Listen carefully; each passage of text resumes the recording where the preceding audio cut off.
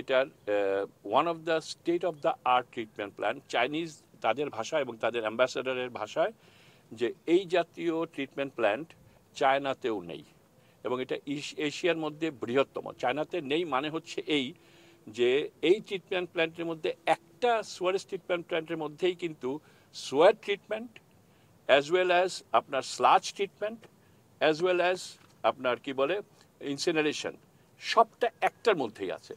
চায়নাতে এর চেয়ে বড় বড় থাকতে পারে, এবং আছে নিশ্চয়ই, অবশ্যই আছে।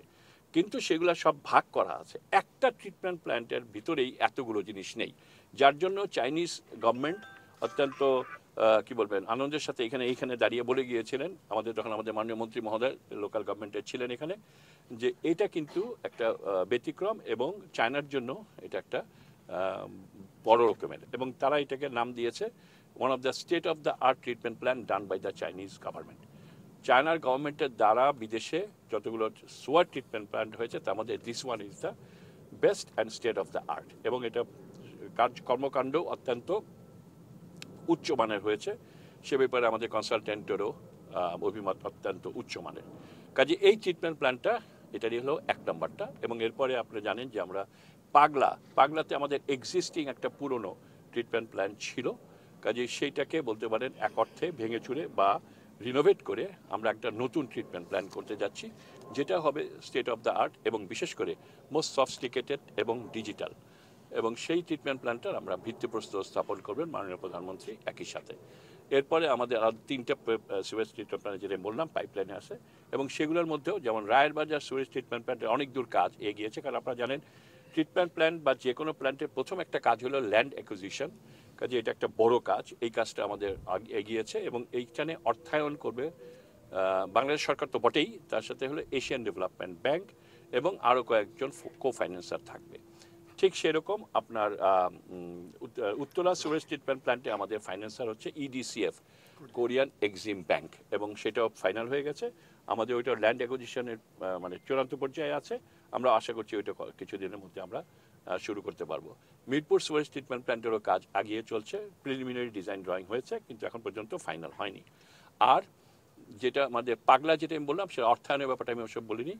পাগলার অর্থায়ন করছে হলো ওয়ার্ল্ড ব্যাংক এবং এআইআইবি এবং বাংলাদেশ সরকার।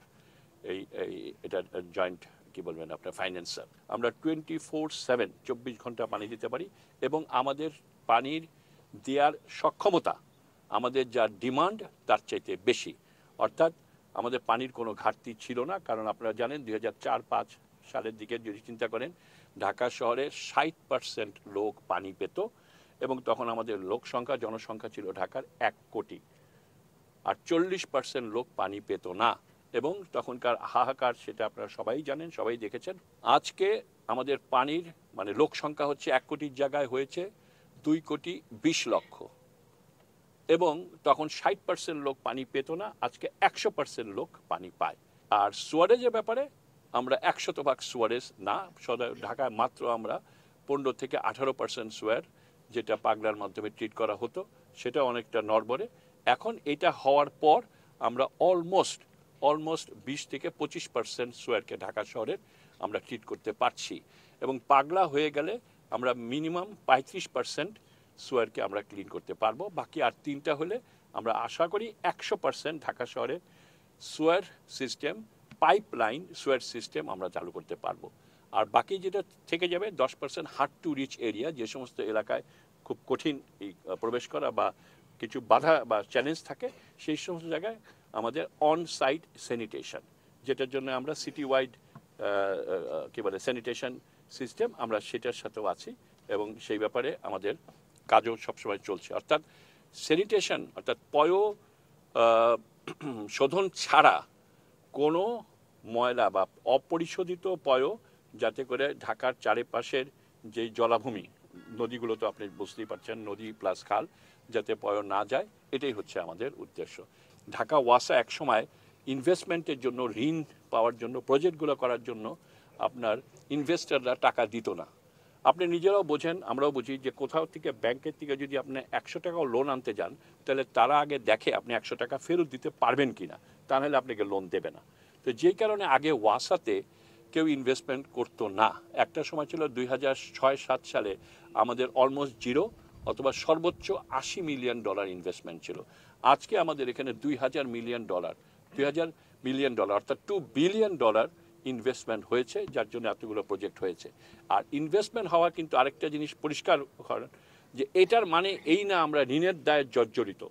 আমরা প্রত্যেকটা ঋণ সময় মতো ফেরত দেওয়ার সক্ষমতা আমাদের আছে।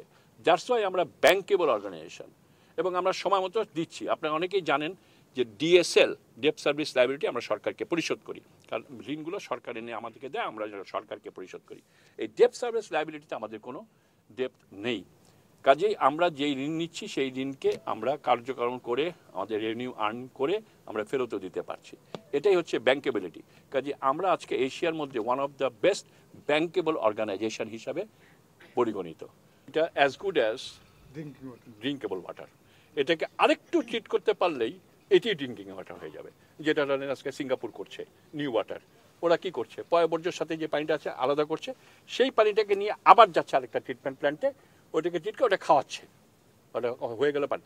এখনও theoretically theoretically it's not practical theoretically যে পানি আমরা ছাড়ছি নদীতে, এটা এতটাই পরিষ্কার বা এতটাই কি বলবেন টেকনিক্যালি বলব যে এতটাই আপনার পরিশোধিত যে আরেকটু পরিশোধন যদি এটাকে করতে পারি আমরা, অর্থাৎ এইটাকে যদি এখন নিয়ে কোনো একটা ওয়াটার ট্রিটমেন্ট প্ল্যান্টে দিতে পারি, তাহলে এটাকে যদি র ওয়াটার হিসেবে যায় কোনো একটা ওয়াটার ট্রিটমেন্ট প্ল্যান্টে তাহলে কিন্তু এটা বের হয়ে আসবে এখন আপনার ড্রিঙ্কিং ওয়াটার হিসাবে ড্রিঙ্কেবল ওয়াটার হিসাবে। তো কাজে এইটা আমাদের একটা গুড সাইড এবং এইটার ভালো দিকটা হচ্ছে, আপনারা অনেকেই জানেন, বালু নদী আপে এবং ডাউনে হচ্ছে আমাদের শীতলক্ষা এবং ডাউনে জাস্ট ডাউন শীতলক্ষা যখন শুরু, সেখানে হলো সারুলিয়া। যে সারুলিয়া থেকে আমরা সায়দাবাদ ওয়ান এবং টু এর ইনটেক পানিটা নিচ্ছি এবং সারুলিয়াতে মাঝে মাঝে খুবই খারাপ অবস্থা থাকে, যার জন্য আমাদেরকে একটা প্রি ট্রিটমেন্ট প্ল্যান্ট আমরা বসিয়েছি সায়দাবাদ ওয়ান এবং টুতে এবং সেই প্রি ট্রিটমেন্ট প্ল্যান্টে আমরা সারুলিয়ার ওই মানে অধিক দূষিত পানিকে একটু আর একটু দূষণ করে তারপরে আমাদের নর্মাল ট্রিটমেন্ট প্ল্যান্টে নিয়ে যাচ্ছে এবং আলহামদুলিল্লাহ এরপরে এটা ডাব্লিউএইচও স্ট্যান্ডার্ডে অবশ্যই ড্রিঙ্কেবল ওয়াটার হিসেবে যাচ্ছে। এখন এই বালু নদীর পানি, যেহেতু আমরা বালু নদীতে এখান থেকে ছাড়ছি অত্যন্ত ভালো পানি এবং উপরে এটাই থাকছে, এটা যখন আপ থেকে ডাউনে যায় উপরে পানিটা যায় হলো সব ভালো পানি।